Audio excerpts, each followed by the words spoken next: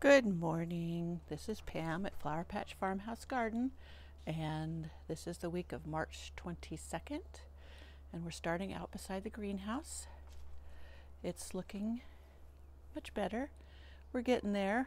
This plant here in the front, that is a lilac that I started from cuttings, and I'm trying to decide where I want to plant it. I had thought of planting it at the back corner there. You see a barrel by the greenhouse, and I thought of putting it in there and it would kind of disguise the the woodshed in the back. We've got some, I got my composter back there, the wheelbarrow succulent garden that I need to fix still.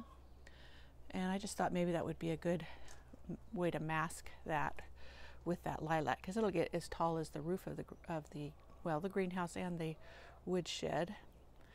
And my plants that I put out here, I've got um, lots of stuff growing in front of the retaining wall there. It's all starting to come up. I got hollyhocks and uh, coneflower, which is echinacea, and some um, irises there. My husband's supposed to get out here and help me tie up that rose. And I have another rose planted in front of the hen house, and that is uh, my Tess d'Urberville. It's a David Austin rose. It's a real pretty red, and it's very hardy in a hot spot, so that's why I have it for there. And you see down in my secret garden, or back garden area, um, things are greening up. The irises are really shooting up with the warm weather we have, along with a lot of weeds. And let me walk along here a little bit. You can see a lot of green. Now that fabric garden raised bed thing there, I had, I think I mentioned it before, but I've got to remove that still. The cats have been using it as their litter box. I had lettuce planted in it. And so just deciding whether I wanted to refill that or just call it a day. So, yep, the alliums down there in the center, they're going to be blooming soon. A pile of soil I need to spread out. I'm trying to decide what I want to do with this back garden fence area. I was thinking I need something evergreen like maybe some type of bush or that I could prune up and make like a living wall. I did get a evergreen clematis or clematis to plant on it and I'm not sure that's going to fill the bill, but we'll see.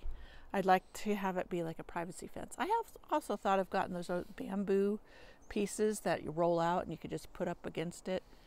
And that way, instead of looking through the fence at my neighbor's back, I would just be looking at a pretty bamboo fence.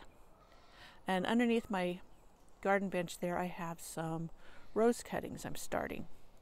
Um, these were are a vintage rose that I got from a fellow garden lover on Instagram, and they didn't root well the traditional way. So I was trying. This is another way that you do it outside. It's in the shade, um, and it's for some that are tougher to root and they, they don't like the heat, this is a way that we can get them to root.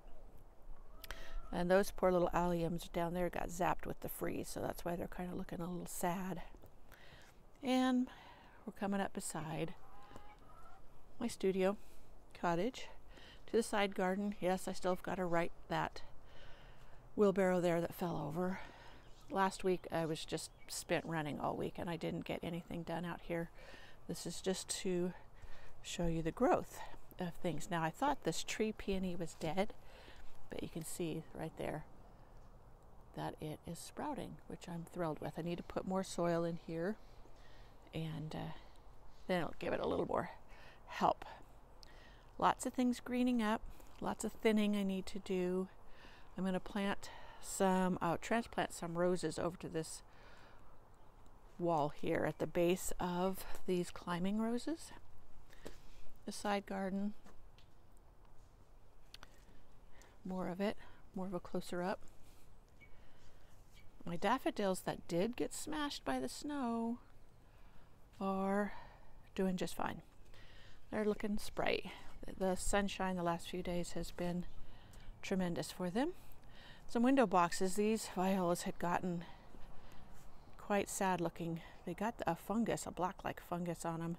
And now I put them down here to catch rainwater and the snow, and now they um, are perking up.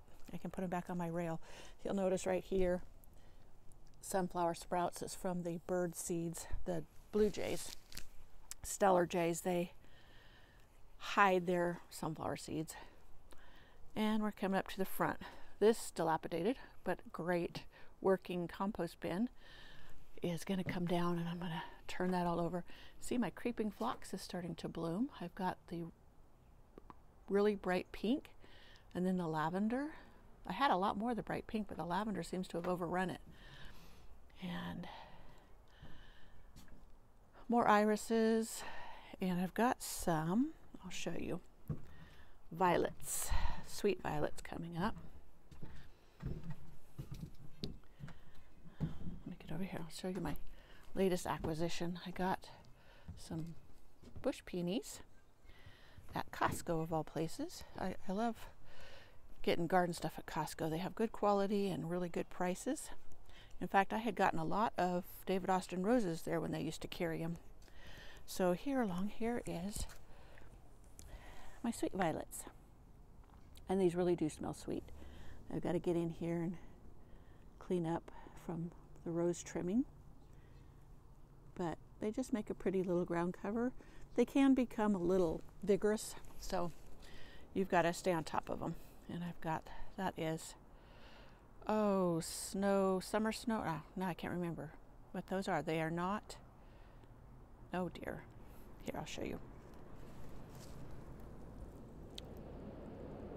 Those are so pretty, and I forgot the name of them. I'll remember and I'll put it on a photo of them.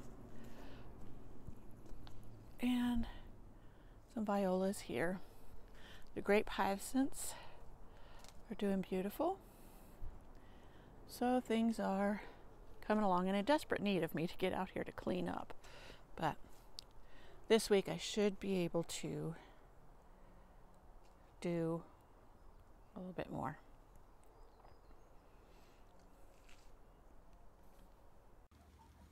Is the greenhouse.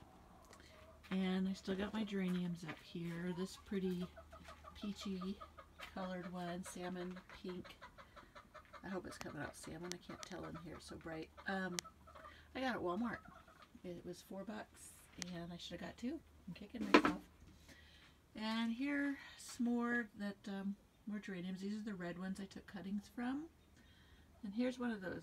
This black